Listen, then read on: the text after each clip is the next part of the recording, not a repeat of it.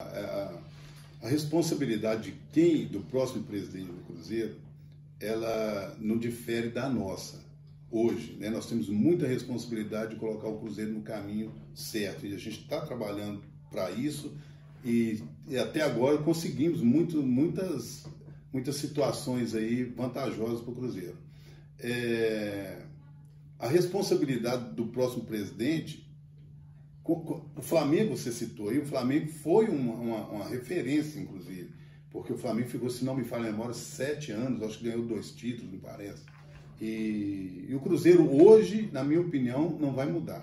É, a torcida tem que ter paciência e esperar aí, eu acho que menos dentro de quatro, cinco anos aí, o Cruzeiro tem que ter esse, esse tempo de recuperação para se tornar aquele Cruzeiro de 2003, 2014, 2013, né, 2017, que foi que tinha um elenco muito bom formado pelo Gilvan, inclusive.